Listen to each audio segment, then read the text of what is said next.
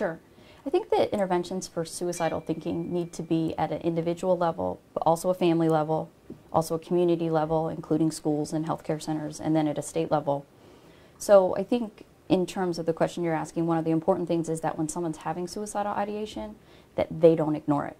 That somebody doesn't just kind of put the thought out of their head or try to ignore that they're having it. It's always a serious indication that something is very, very wrong. And so the people need to be willing to address I'm, I'm in a place where I'm thinking about hurting myself. What do I do now? I think it's very important for friends, community members, families to be willing to talk about suicidality and suicide. Um, it's never bad to ask, are you thinking about hurting yourself? Are you thinking about killing yourself? People don't like to say those words. They're not comfortable words to say.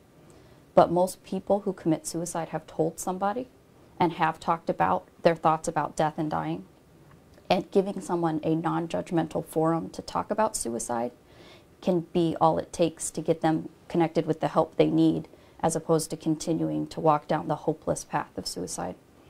So I think that having individuals respond to their own thoughts, their families being open to talk with them, sometimes you have to ask. Um, with teenagers, you'll see changes in behavior that may not indicate suicidality, but they'll go from perhaps being social to being isolated, being a happy kid to being very mean, uh, irritable, in your face kind of kid, or they go from getting good grades to getting bad grades. And sometimes we have to ask, what's going on? What's, what is really going on? Are you thinking about hurting yourself? And it, it feels bad to ask a 14 year old that, but kids do kill themselves. Even very young children kill themselves. So we have to be willing to talk about it. And then we have to have, at a community level, agencies that are willing to take those people on. So the schools have to know where to get the kids when their friends tell that they're thinking about hurting themselves. Or the VA has to have the, the staff available around the clock to get people the care they need.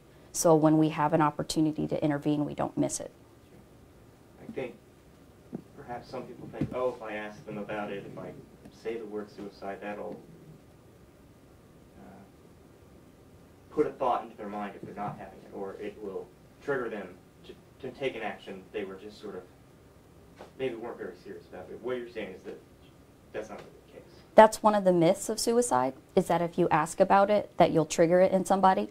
If what we find is that if you ask somebody who's not suicidal, if they're not suicidal, they'll just tell you, no, I haven't had thoughts like that. You're not going to trigger this reaction.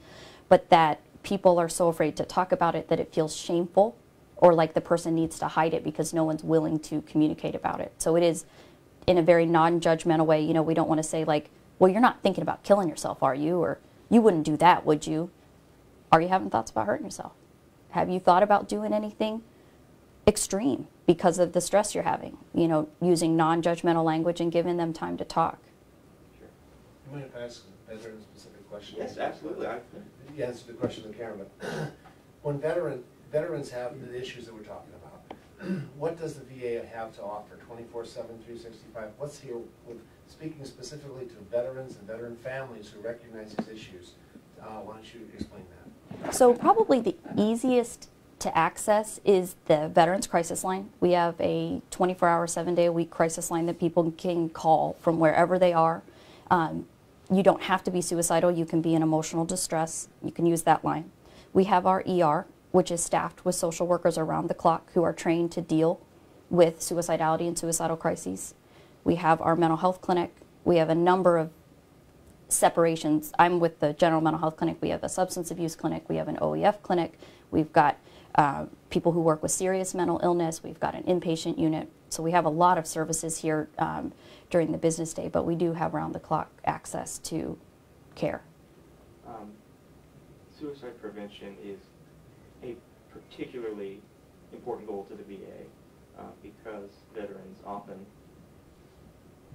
because of what they saw, because sometimes of maybe traumatic brain injuries or PTSD, have a higher rate of, of suicide than the general public. Um, is it difficult for you to address that with them? Because I think there's also this idea of machismo that comes with uh, uh the service a lot of times. Uh, are they reluctant to talk about it?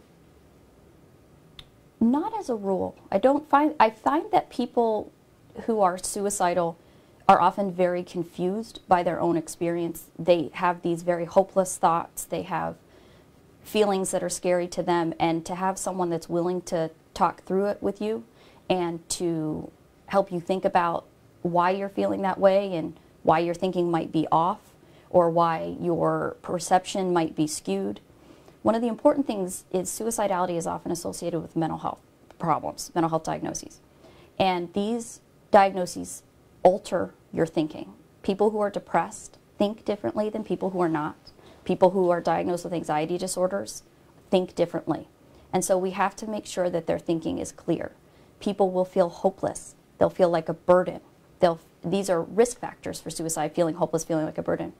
And when we find someone who's a maybe a grandpa who feels like a burden, if we explore with them their relationships, we find that they really know that their family loves them, but they just lost touch with that. And their family would never see them as a burden.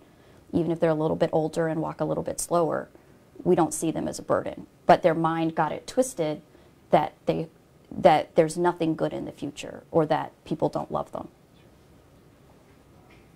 You talked about uh, directly addressing it in terms of talking with people who, who suspect may be experiencing suicidal ideation. Are there other actions that are good to take?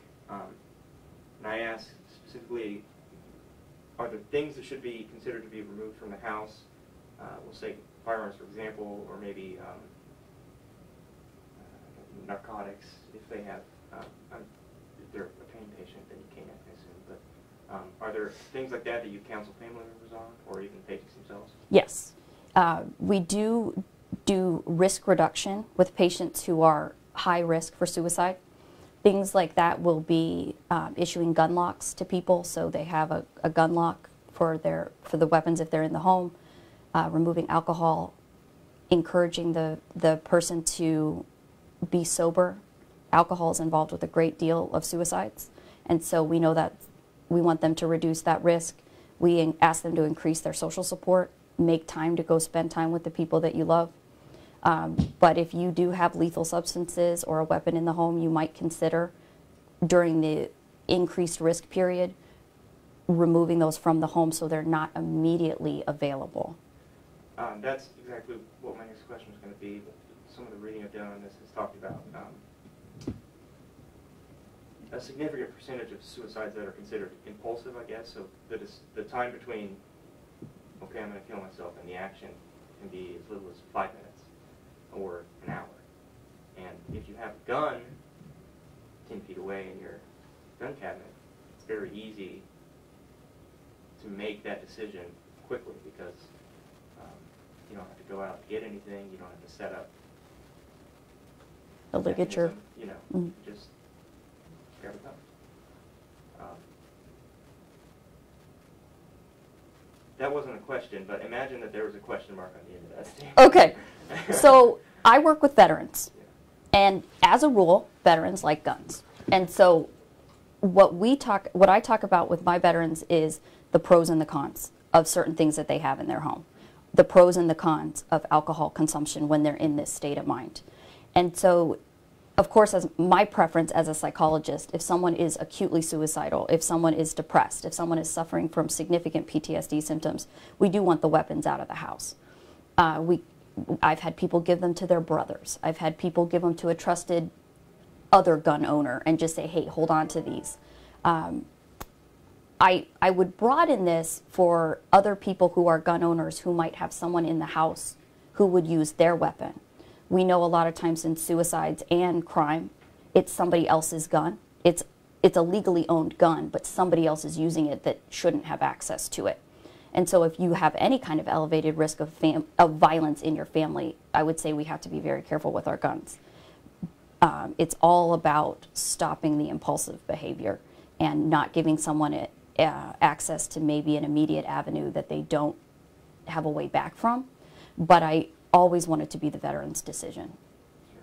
Can you talk a little bit more specifically about the impulsivity and, like I said, I, I have academic papers that I've read about it, but it'd be nice to have an expert. Um, I think it's hard for people to imagine because I don't want to say there's a romanticized version, but there's a this image we have in our head of what a suicide looks like, and it's I made a decision, I'm gonna write a note, I'm gonna lay out my things, I'm gonna make oblique references to loved ones, and then I'm going to do it.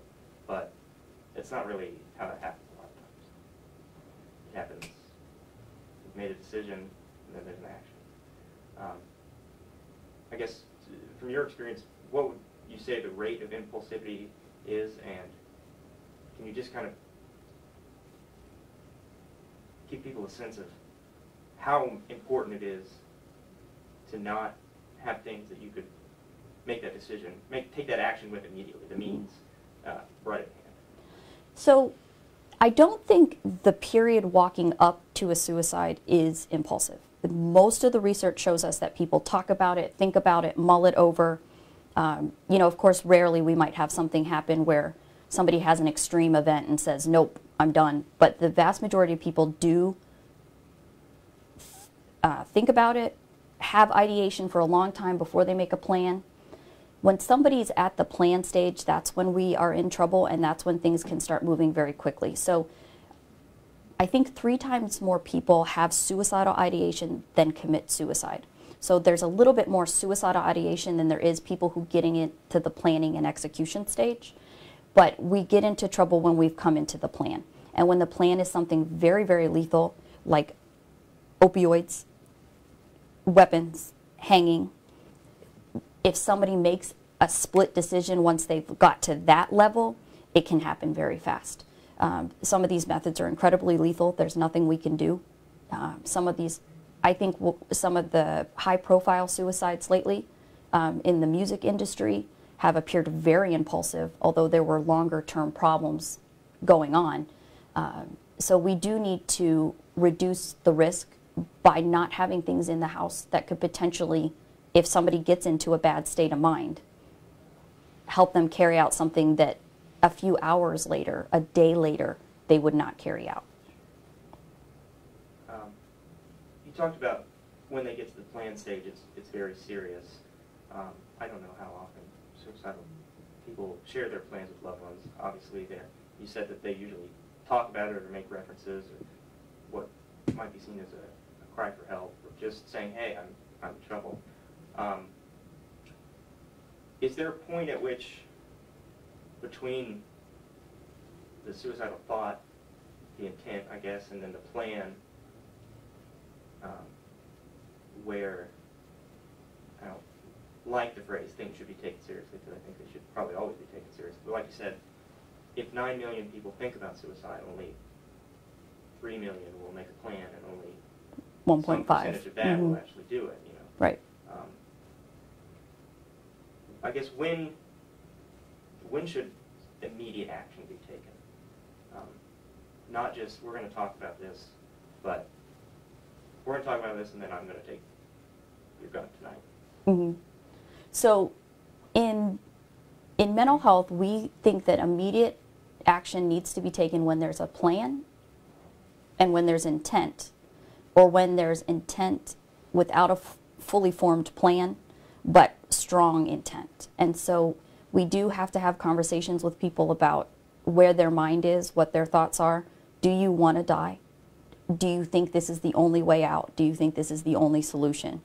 And so when somebody gets the sense that a person has a plan, and there can be tells if we watch, you know, that maybe the gun case hasn't been open in four years and it's been opened.